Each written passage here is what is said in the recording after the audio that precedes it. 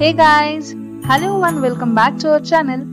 Today I'm going to show you how beautifully you can draw a picture without using your brush, your color box, pencils and etc etc. So start painting with me. Hey, don't forget to subscribe my channel. I never trim any portion while editing my videos. Please do not miss any step and watch the video till end so that you can understand the process thoroughly. Today I am going to show you how to import pictures in Infinite Painter.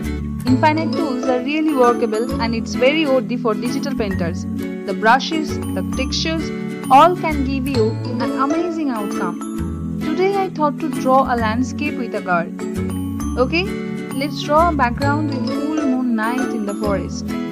So according to that, I will adjust colors from the color palette and after that I will draw the layers. That's what I do every time. So please watch how I am adding the layers and draw different shades.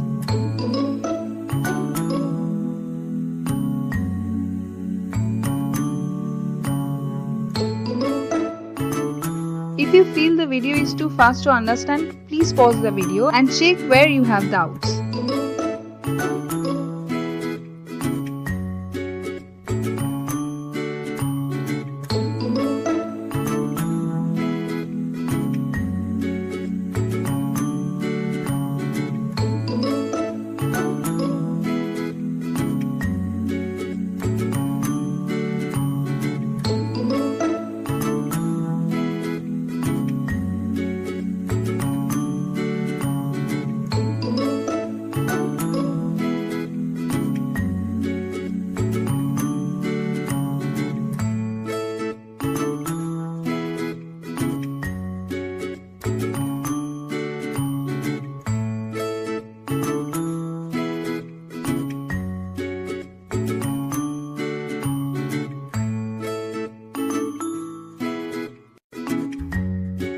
Infinite Painter provides you plenty of brushes like paintbrush, color brush, sprayers and even paints, calligraphy maker, marker, charcoals, chalk, different types of textures, designs and whatnot.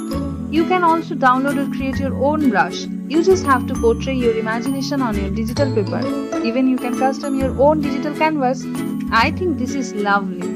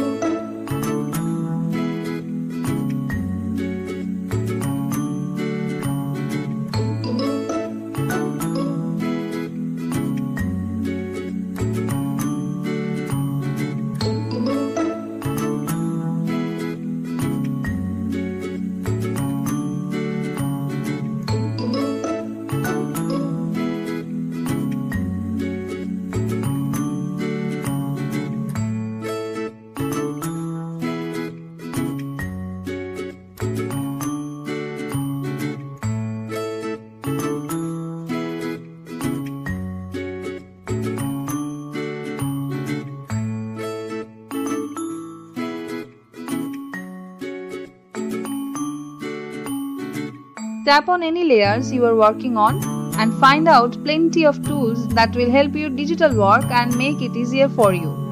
You can duplicate a layer. Duplicating a layer is actually time healing. Suppose you want to draw a same thing twice or more than those. Then you don't require drawing the same image again and again. Just duplicate the layers. If you want to clear the entire layer but do not want to delete the layer, then just tap on the clear button your whole layer will be clean. If you do not want to show or work on a layer but you need that layer after some time back, you can hide your layer. Then merge a layer with the immediate next layer of it. If you lock your layer then you cannot do anything on that particular layer. The select option is very important. Suppose you want to select a particular portion of your layer then select that portion and do your thing. I use almost every tool available for the layer. I will show you that too. You just need to do one thing. Watch the video till end.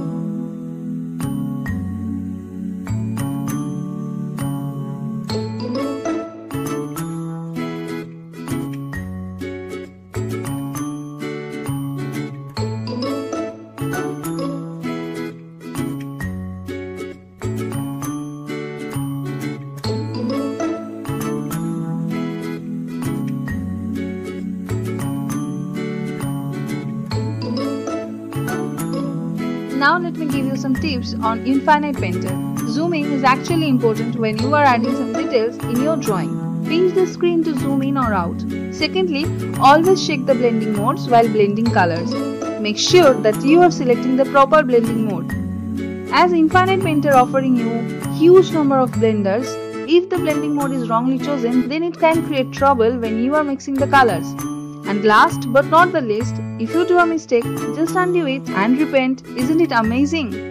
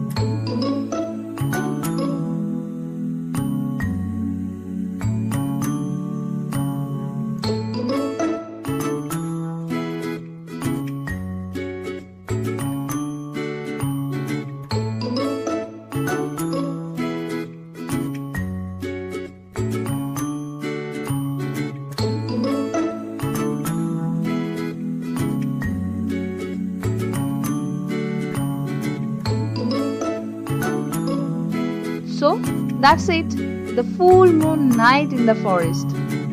This video is a bit longer so I thought to divide it into two parts. In the second part I will show you how to import picture in this app. So please watch the second part of the video. If you find the video is supportive, please subscribe my channel for more painting and ideas. Like the video, share it and hey, don't forget to comment about your experience on digital art. Thank you, stay healthy, see you in the next video.